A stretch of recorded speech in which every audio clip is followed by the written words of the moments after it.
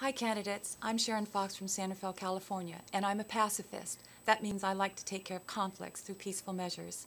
But one thing I'm still very conflicted about is how we treated our returning Vietnam vets. It's been years, but many of them are still in psychological limbo. What kind of commitment, if any, would you take to alleviate some of the pain that our veterans are still feeling?